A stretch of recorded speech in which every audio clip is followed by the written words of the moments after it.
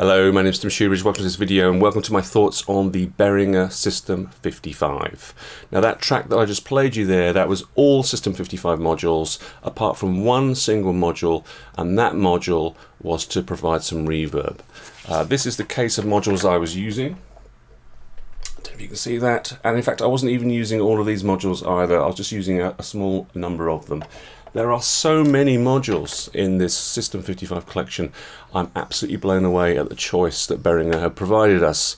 Uh, there are, I think, about 22 different modules, though I'm not 100% sure because I can't find a definitive answer to how many modules there are in the collection right now. Uh, it's 22 that I'm aware of, put it that way. And what I'm going to do now is I'm just going to run through as quickly as I can those 22 modules what they are and briefly what they do. Now this is not going to be tutorial of those modules. I just don't have enough time. There are too many modules and I have too little time. So I maybe I'll do in the future some videos where I pick on some individual modules or small collections of modules and go into some details about how to use them. Uh, but for this video, I'm really just going to give you a brief, brief description of what's available in the collection that I know about. So that's what's coming up next. Right, so let's take a look at these 22 modules. We'll start off with oscillators and see what choices we have. First up is this module here, it's the 921. It's a general purpose oscillator. It can also act as a LFO. And the other choice we have is actually a pair of modules. It's a 921A and 921B.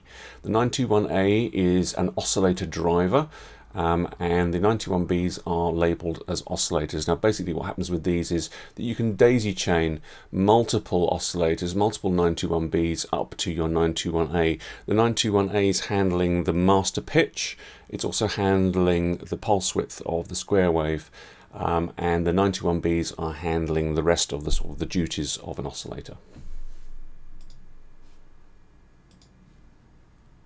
Right, so moving on to filters, we've got quite a choice here. So first up is the 904A module. This is the classic transistor ladder filter, the 24 dB 4-pole low-pass filter, that wonderful Moog sound. Um, it's got three control inputs at the bottom for CV control of the cutoff. Uh, you'll notice that the uh, resonance control isn't called resonance, it's called regeneration on these old modules. And the high pass equivalent is the 904B. Uh, again, it's got the three control inputs at the bottom, and you'll notice that there is no resonance control on this high pass filter, unfortunately. Third choice is the 923. Now this has got a low pass filter and a high pass filter all on one module, but they're very simple filters. There's no resonance control on either of the filters and there are no control voltage inputs, so you can't modulate the cutoffs of either of these filters. Uh, but what you do get is a little section at the bottom there called noise source, and you've got two outputs for white noise and two outputs for pink. And here's the fourth choice of filter module. It is the 914 fixed filter bank. It's a classic and iconic filter module from Moog, recreated here by Behringer. You've got a low pass filter and a high pass filter on board, and then you have these 12 separate band pass filters set at different frequencies. Okay, so we've looked at oscillators and filters. Now let's have a look at amplifiers. Well, in fact, there's just one module. It's the 902. Uh, not a lot to say about this module, to be honest. It's got three control inputs at the bottom. You have a switch where you can choose between linear and exponential as to how it behaves uh, to those control voltages. Uh, the signal in can be inverted as well as the signal out. Right, so let's move on to envelope generators. There is one module, it's the 911. Now this is a standard attack, decay, sustain, release envelope generator, but you won't see the words attack, decay, sustain or release written on it at all. Uh, it's a bit more scientific than that. We have T1, T2, T3 and ESUS. So T1 is the attack time, T2 is the decay time, T3 is the release time, and the bottom control is ESUS, that is the sustain level. So it's not in the same order as a, a regular ADSR envelope generator that you, you might be used to using. Uh, it does catch you out until you get used to it. Um, one thing to mention there is that in terms of being able to give this module a gate or a trigger, uh, it's labeled S-Trig in. Now I'm not going to go into a lot of detail right now about it, uh, but what you will, will, notice with these modules is you'll see labels S-Trig and you'll see labels V-Trig. V-Trig is the equivalent of standard Eurorack trigger and gate voltages.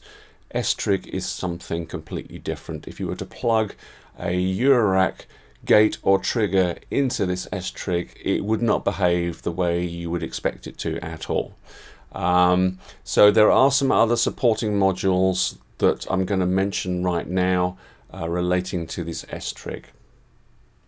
Here's the first of those modules. It's the 961. It's called the interface. It's a large module. It does a number of things, um, but one of the duties that it does have is to take in a V-trig, or in fact a bunch of V-trigs if you want to, and supply an S-trig output.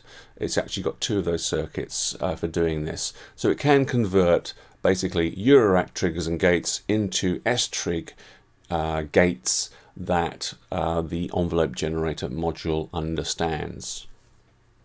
And while we're talking about modules that need S-Trig, let's mention the other one, the 911A. This is called a dual trigger delay. It's a very nice little module for some interesting effects. It takes a trigger and then it delays the output of that trigger by up to about 10 seconds. So it's a really interesting delay for giving you a, a, delay effect in terms of triggers. There are actually two of those delays on this module and they can be run either as parallel or in series.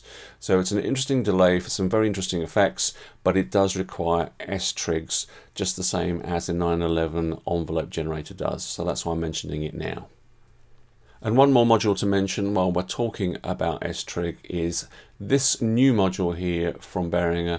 Uh, it's not strictly a System 55 module, but they've done it in the in the, in the same livery as the rest of them. It looks very, very smart alongside them. It's called the CM1A. It's a MIDI to CV converter. Uh, but the beauty of this particular MIDI to CV converter is that it can output V-trigs and S-trigs. Uh, so it's a very handy module to use if you're using MIDI keyboard or sequencer uh, and you want to trigger your envelope generators in your System 55 collection. Right, so moving on, just a couple of sort of like uh, miscellaneous modules to talk about now. This is the 903A module. Uh, it's just, uh, it's called random signal generator, and that sounds very posh. Um, but basically it's just a noise generator. There are two outputs for white noise and there are two outputs for pink noise. Uh, now there was uh, noise generation on one of the filter modules that I mentioned earlier but if you just want the noise on its own then this is a very slim little module that does that. There is no sample and hold. I'll talk about some of the limitations of these modules uh, and this collection later on but there is no sample and hold circuit so if you're thinking random signal generator will be a sample and hold circuit it's not. It's just purely noise and nothing more than that. Here's another miscellaneous module to mention, a little one. It's called the CP1A um, and it's a power supply. Uh, they're really, really useful, these things. They're so cheap as well.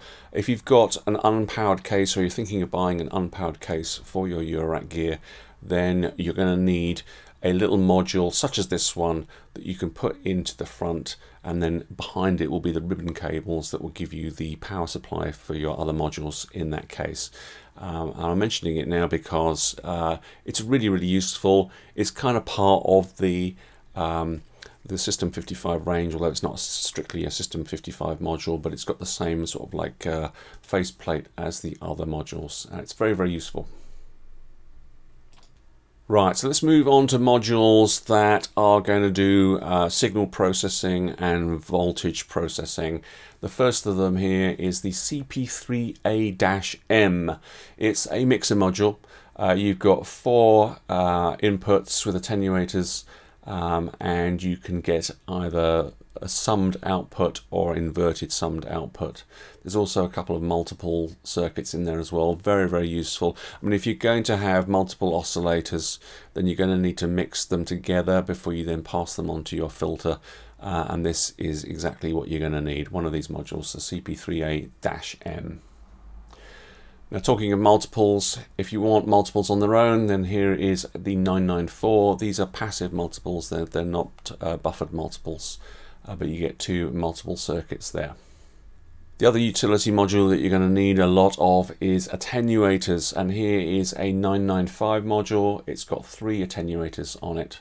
Very, very useful. You're going to need those a lot. And while we're on the subject of attenuators, here is another module that has attenuators. It's the CP35. You get four attenuators on this particular module. You also get two multiple circuits and you have some fixed voltages which can be very useful. There's a minus 6 volts and a plus 6 volts. Here are two more modules that do control voltage processing. The CP3A-O, otherwise known as the oscillator controller, and the 992, otherwise known as the control voltages module. Both these modules look very, very similar as you can see, which is why I put them together here. The only real difference is the module on the left has a regular attenuator and the module on the right has an attenuverter. It can go negative as well as positive. Uh, but both these modules, basically what they do is they take up to four control voltage inputs they sum those control voltages together and then they supply those control voltages summed with three outputs each.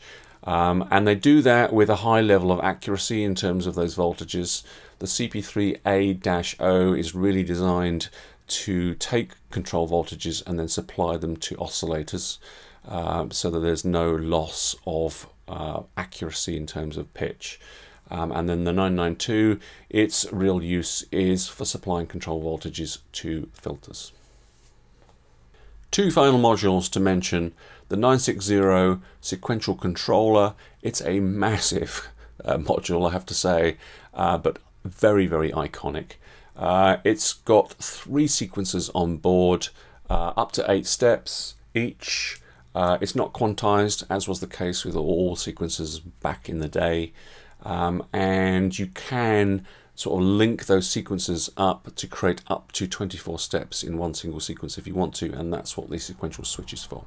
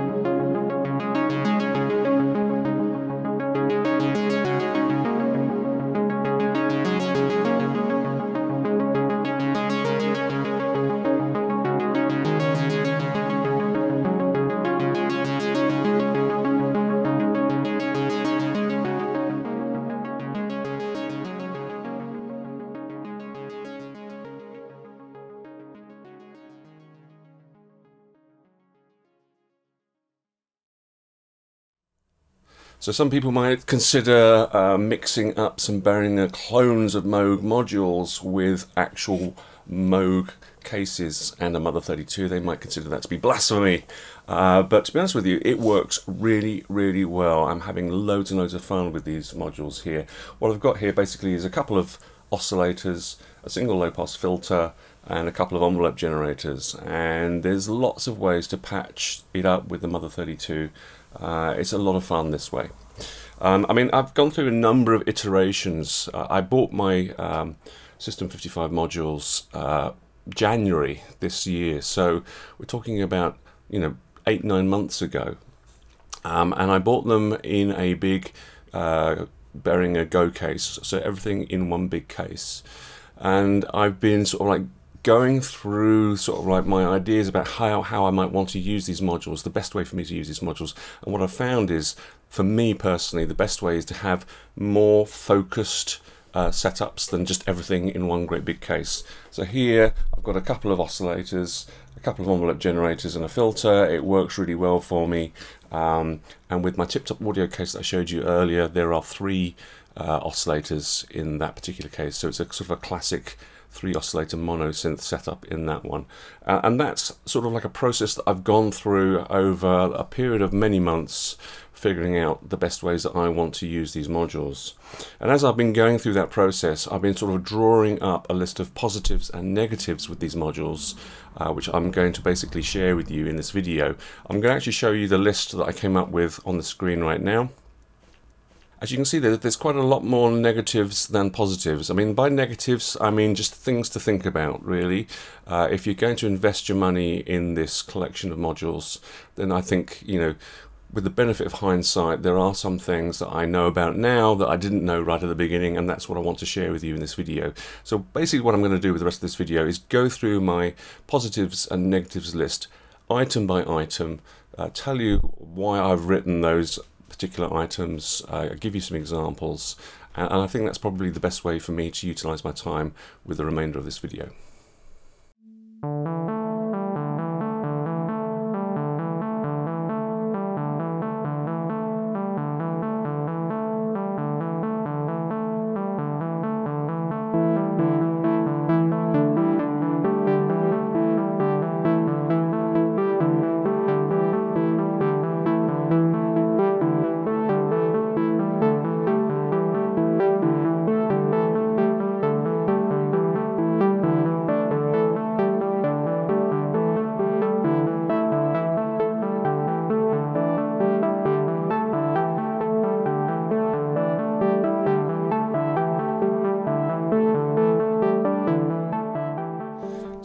About you, but when someone mentions Moog Modular to me, I immediately think of Tangerine Dream and of images like these ones. Those huge cabinets filled with modules.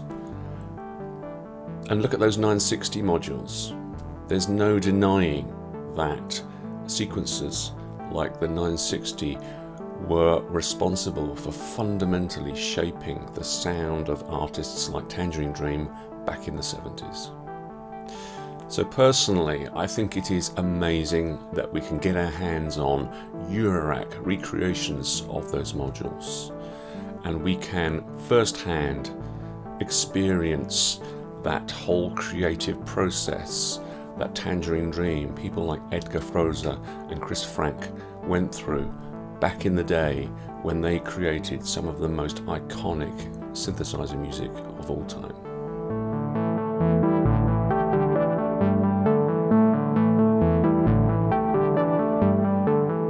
But let's not kid ourselves that it's only Behringer that have dared to recreate these Moog modules.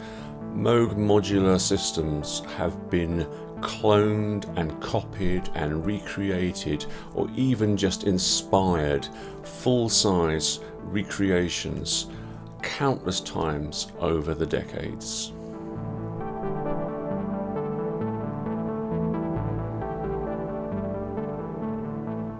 The vast majority of those recreations are expensive, exclusive and full-sized replicas.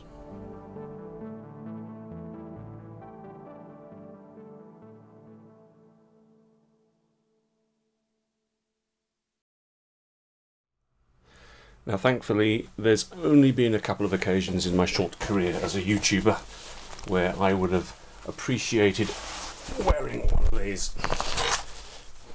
It's a flak jacket. Um, but I get the feeling that maybe this video is going to be another occasion where I might need a flak jacket.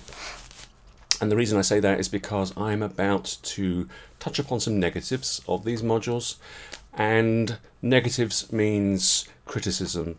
And criticism is not going to be of Behringer's implementation of these modules. It's actually going to be a criticism about the original designs of these modules. Uh, the original Bob Moog designs. So uh, I do appreciate that that's not going to go down with some people. Um, but I think that you know, having used these modules for months now, uh, you know, next to more modern modules, I think that uh, what I'm about to, to tell you uh, could hopefully be of use to you if you're thinking about um, you know, investing in these modules. Uh, I don't think that they are modules really for a beginner. Put it that way. Um, now, I am 101% um, appreciative of the fact that these original uh, Moog modular systems, you know, they were designed in the 60s and then into the 70s, right at the very birth of musical synthesis. There were no standards, there were no naming conventions. Um, so they are what they are, basically. You know, we've seen the weird naming conventions on the envelope generators, the T1, T2, T3, ESUS. Uh, we've seen uh, resonance being called regeneration on the filter module. Um, there's something weird called a clamping point that's on uh, one of the oscillator modules.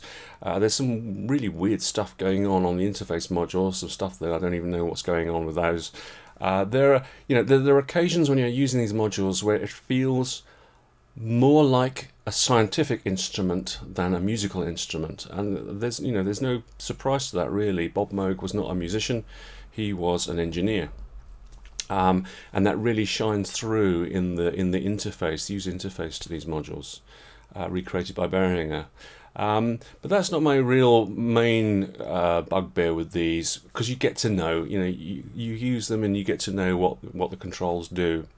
The whole S trig versus V trig, the lack of standards back in the 60s and 70s uh, that we now have with these Behringer System 55, uh, you know, recreations here, uh, they are a real pain. I have to say, a real pain. You've got these two modules that need S trig the envelope generator, which is a pretty critical uh, module, I have to say, and then this dual delay module. They both need S-trig, but everything else is happy with V-trig. You've got the sequencer and the sequential switch. They're very happy to accept V-trigs and give out V-trigs. It's just these two modules that stubbornly need S-trig. And so you're going to need that 961 interface module. And it's a big module. If I show you my my little three tier Moog rack here again. Right, so as much as ever, uh, rack space is at a premium in a little setup like this, and that's the 961. Look how huge it is. It's the biggest module by far here, uh, and I need it purely to convert a V-trig from the Mother 32 sequencer into S-trig so I can trigger an envelope generator with it. I need this great big module here just for that one single purpose. It's a real pain to have to have it in every setup. It takes up a lot of room and it's not the only module that takes up a lot of room. If you want, I'll just check my list here, if you want uh, to access some fixed voltages, minus 6 volts, plus 6 volts, you're going to need the CP35 attenuators module. That is a huge module. Just for that one purpose, if you want it for some voltages it's a big, big, big, big module. It really is big. Uh, the mixer module is quite large for what it does. The filter bank is obviously huge, and the sequencer is gigantic. It needs a case all of its own almost. Um, so, you know, there are some big modules here. They take up a lot of room. You really need to consider that when you're building up your system. Um, but my biggest issue, I think, is the lack of functionality that there is with this collection. Even though we have 22 modules here, uh, there are some glaring uh, missing functionalities. That there is no sample and hold. Uh, there is no ring mod circuit. Um, there is no portamento, glide, slew functionality. Now, maybe there was built into the keyboard because uh, I think the original mo uh, uh, modular systems had a keyboard. Maybe that was in there, but it's not there in a module. So there's none of that going on. What else? There's no LFO. There's no dedicated LFO. If you want an LFO to modulate anything, you're going to need to use one of the oscillators. In fact, there's only one oscillator you can use. It's the 921. It's a big module. Again, if you just want to use it as an LFO, it takes up a lot of room compared to modern Eurorack modules that we have these days. So, you know, again, you've got premium rack space requirements here and you've got missing functionality and it's a big big shame. And obviously it's not just missing uh, in in Behringer's recreation it was missing there in the original Moog designs. Um, so I think you need to bear in mind all of those things when you're looking at this system. But most of all I think it's it's actually when you start to patch and you start to realize how you're going to need to patch these modules together, what modules you're going to need, that's when you really get an appreciation of how much rack space you're going to need and what modules you're going to need to purchase. Um, and that's a process that I've been going through for several months now, which is why I've gone from, you know, big racks to smaller racks and I've been swapping modules in and out over and over and over again figuring out what I really need so what I'm going to do now for you is I'm going to take you through just a few different patching examples uh, just how you would use the System 55 modules to, to patch a specific piece of functionality uh, to generate specific sounds.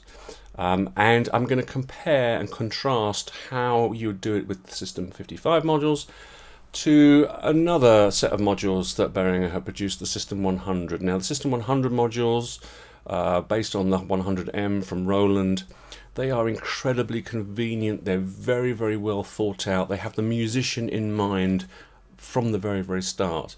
Now, Roland produced the 100M, I think it was in 1979.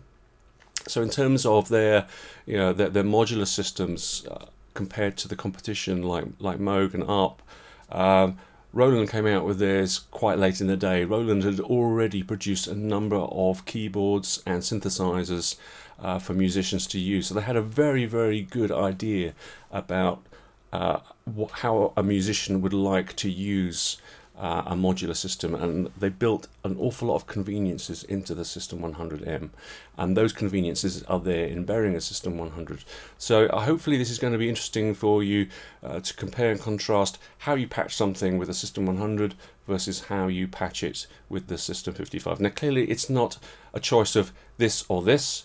It's just me showing you the, the kind of things you're going to have to think about when it comes to the System 55 that you might be taking for granted if you've already got a System 100 or in fact any modern uh, Eurorack uh, modules. So that is what's coming up next.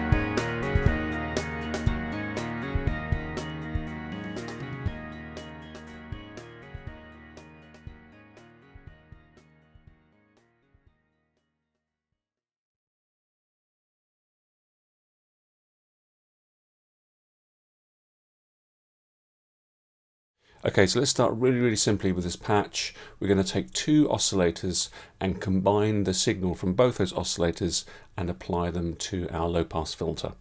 Now, as you'll see here, the low pass filter only has a single signal input. So we're going to need to use a mixer module. That mixer module is going to take the output from VCO number one and from VCO number two. We can then set the levels, attenuate those levels, and then apply the output from the mixer to the low pass filter. Very, very simple, but we've used here four modules. Okay, so let's apply the same patching to the System 100 modules. So we start off with a 112 module. It's got two oscillators in it, so that's great. And we need a filter. So we're going to use the 121 filter module. It's got two filters in it. We only need one of them. Now in terms of patching, all we do is take an output from VCO number one into the VCF and an output from VCO number two into the VCF.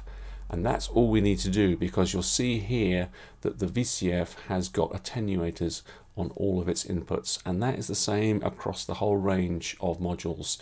There are attenuators on all of the inputs. It's really, really convenient. So here we've only had to use two modules. Okay, so let's go back to our System 55 patch and extend it a little bit. Now what I want to do now is to modulate the filter cutoff with an envelope. So let's add our envelope generator and to be complete let's add our interface module as well because we're dealing with S-Trig here so we're going to need an interface module, the 961 module, to give S-Trig to our envelope generator. So we'll patch the S-Trig cable in now in terms of modulating the filter with the envelope generator, we could just patch directly between the envelope generator and the filter. But from my experience, you really want to be able to attenuate that modulation uh, to get it just right. It's rare that I would actually be using full envelope generator CV into a low pass filter. So we're going to need to add an attenuators module. We'll use this little module here, the 995. And then what we need to do is take our output from our envelope generator into one of those attenuators, and then the output from that attenuator into our filter. And that's it. Now we've got our envelope generator modulating our filter, and we can attenuate and adjust the amount of that modulation. Okay, so let's try the same thing with the System 100 modules. We're going to need to add an envelope generator module. This is the 140 and it's got two envelope generators and again we only need to use one of them so we'll ignore the second envelope. Patching it is very very simple. We just take an envelope output from that first envelope and we patch it to that first VCF. Um, and as you'll see here all of the inputs to the VCF. The same with all the modules. They are attenuated, so we don't need any further modules, any external attenuators, anything like that. It's as simple as that, one cable. Okay, so going back to our System 55 patch, let's extend it again. This time, let's add an LFO. So not only are we going to modulate our filter with the envelope, but we're also going to modulate it with an LFO. Let's see how we do that. So adding an LFO means we need to add an oscillator, one of these 921 oscillators. You can flick a little switch and go into sub mode for low frequencies. So that's our LFO. Now there are actually two ways of patching it. We're going to want to attenuate that LFO signal going into our low pass filter. We can either use one of the spare attenuators on that 995 module as I'm showing there with the blue cables. But the 921 has an attenuator built in if we use the auxiliary outputs over here on the right hand side. So we can actually just take a cable straight from the auxiliary output into our filter and we've got an aux out level which attenuates that signal on the 91 itself. So that's a quite simple patch. So let's apply that LFO with our System 100 modules and it's an even simpler patch actually because it just happens that we have an LFO built into that 140 envelope module. So all we need to do is just take a cable from the LFO output straight into our VCF and it's attenuated like we mentioned before. So that's it, just one more cable. Okay, so there's one final thing I'd like to try with these patches, just to extend them a little bit further. What I want to do is to have that LFO modulation a gradual onset, a delayed LFO, rather than having it working all the time. So what I mean by that is each time I press down a key, play a note, there'll be a small delay before the LFO takes effect. Now the way that we're going to patch this is using an envelope generator. So the first thing I need to do is just remove a couple of cables because I'm going to have to repatch them and I'm going to explain what I'm doing a little bit later on. So let's remove a couple of cables, shrink it down to give us room and let's add our envelope generator. So we're going to give our second envelope generator here a slow attack to modulate the LFO amount that's being applied to the filter. So we need to trigger this second envelope generator exactly the same as we're triggering the first envelope generator. So we need to take our strig out from our interface module and apply it to both envelope generators at the same time. So I'm going to take an strig output and go into one of the multiples that is there in the mixer module. And then from that multiple, I'm going to patch to both of the envelope generators. So now my strig output is being applied to both envelope generators at the same time. So that's the first part of the patching done. Now to modulate the LFO control voltage that's being applied to the filter. Now the way that we're going to do that is to go via a voltage controlled amplifier. First step is to take our LFO control voltage and pass it into our amplifier and then take it out from our amplifier into our filter. So if our amplifier is fully turned up, uh, we're just applying our LFO constantly to our filter cutoff. But now what we're going to do is modulate our amplifier using our second envelope, like that.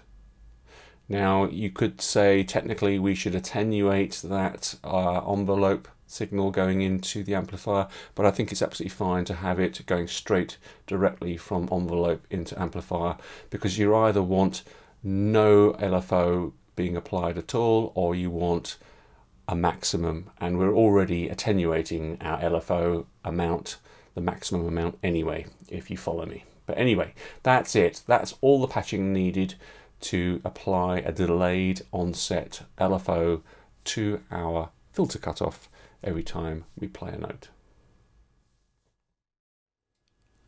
Okay, so let's apply that same delayed LFO to our System 100 patch. And I'm being a little bit cheeky here because I know already it's so, so simple to do. I don't actually have to do any extra patching. Uh, the LFO has a slider on it called delay and you can delay the onset of the LFO without doing any extra patching. Well that's not quite true, you're going to have to trigger that LFO, there's a little trigger input there so we would have to provide a trigger input to it the same way that we're supplying a gate input to our envelope um, but that would be the only patching necessary but very very simple otherwise. Okay, so let's compare those patches on those two different sets of modules. Starting off with the System 100, as we can see here, very, very simple. Three modules and four patch cables. And even then, we've got a filter too many and an envelope too many.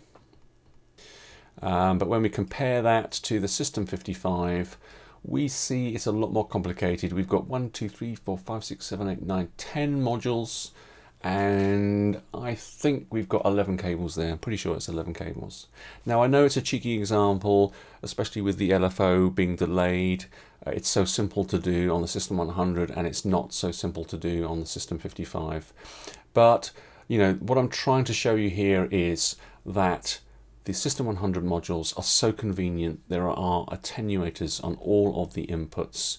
Uh, there are little mini mixers in there as well. And you know, when you look at modern uh, Eurorack modules, you'll see that they're very convenient. There's lots of attenuators there for you to use. And with the System 55, there are no attenuators on the inputs at all.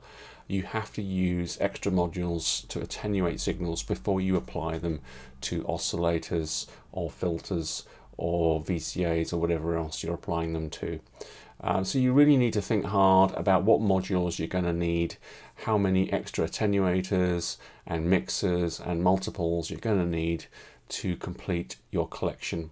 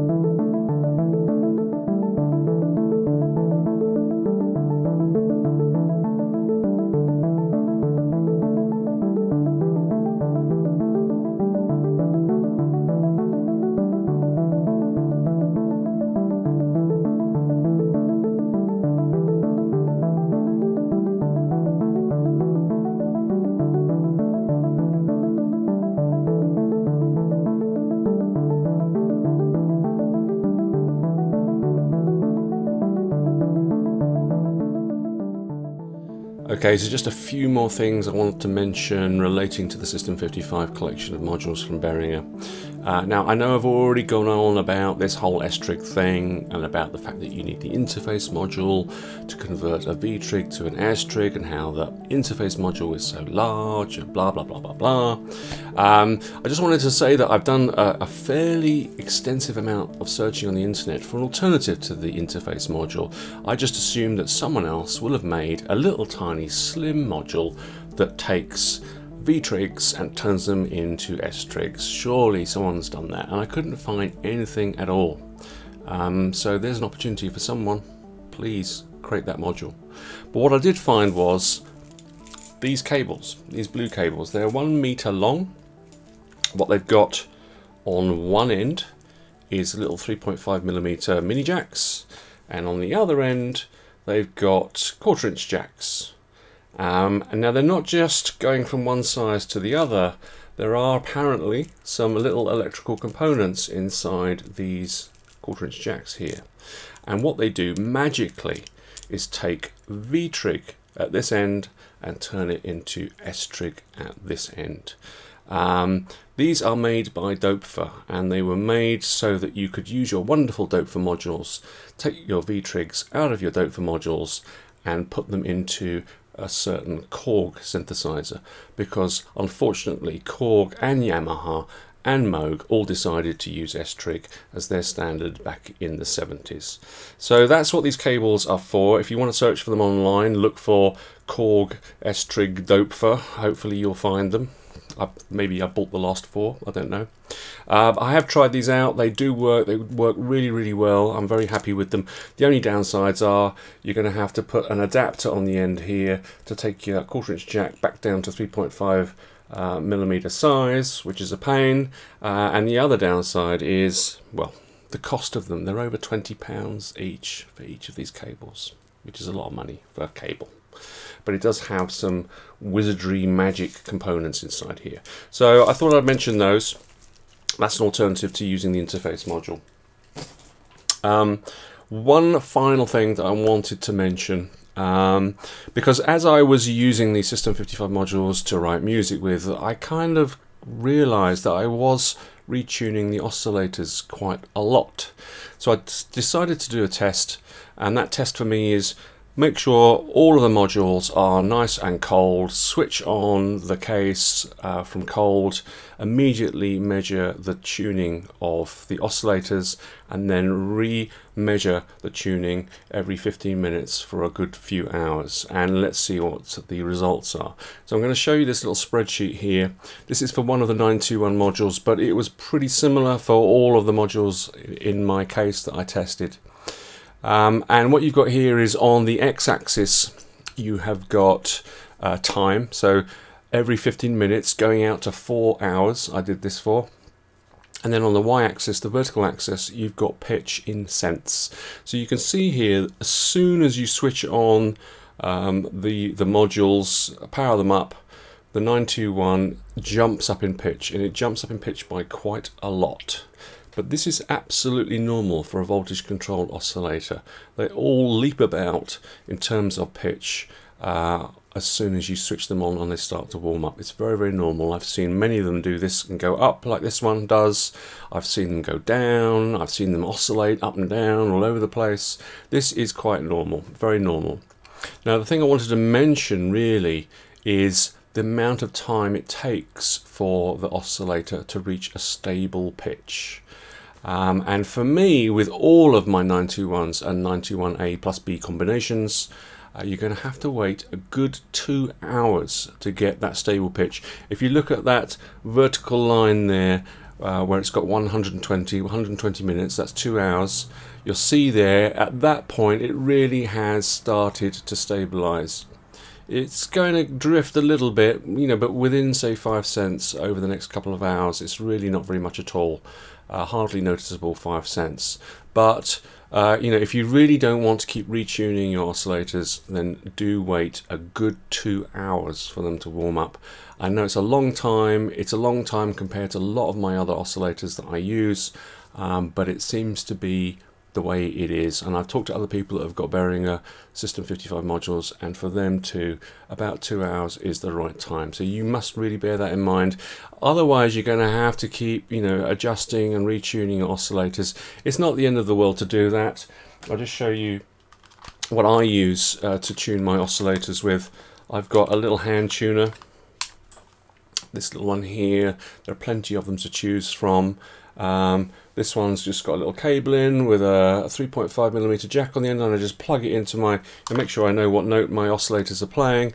I plug it in to one of the waveforms in each oscillator and I can tune it very very quickly using one of these things. This is this is really really easy to do uh, but you know you can get digital tuners, you can get actual tuner modules uh, so you can put them in your case and then connect them up to your oscillators and tune them that way. But I really would recommend uh, a little tuner so that you can you know keep retuning your oscillators um, unless you want to wait the full two hours for them to stabilize. Now obviously this two hours depends on humidity and uh, temperature etc etc etc but it is going to be quite a long time.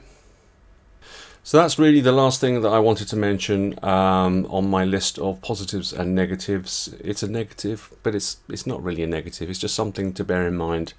Um, I'm going to come up with some final thoughts very, very soon.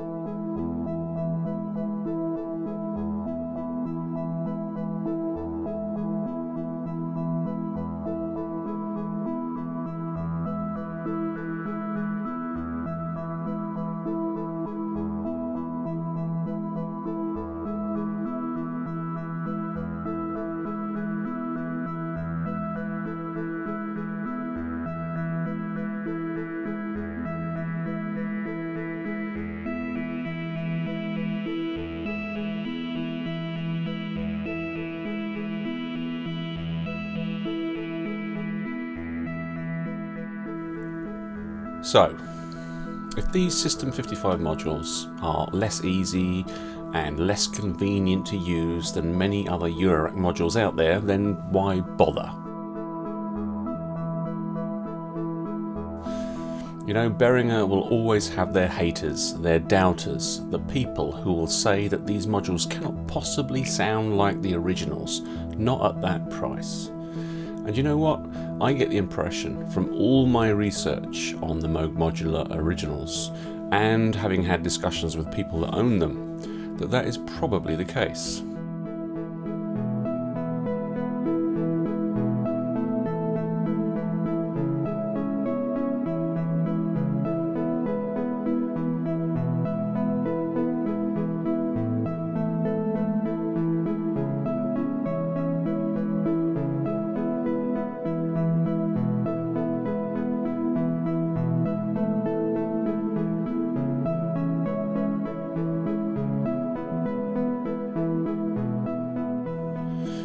Original Moog modules were hand soldered, calibrated, checked, and recalibrated. You set the attack time to 100 milliseconds and you get 100 milliseconds. They are a labour of love, precision at its best. These Behringer modules cannot possibly have that level of attention or that level of precision, not at the price they sell for, and we honestly shouldn't expect it. But what we can expect is a collection of beautiful sounding modules to totally immerse yourself in, to integrate with your other gear, or maybe to build your own remake of an original system that your musician heroes once used.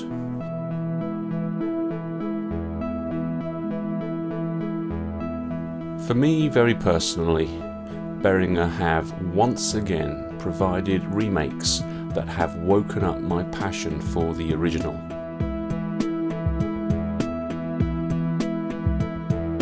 And although those originals are completely out of my grasp and probably always will be, at least I can always dream.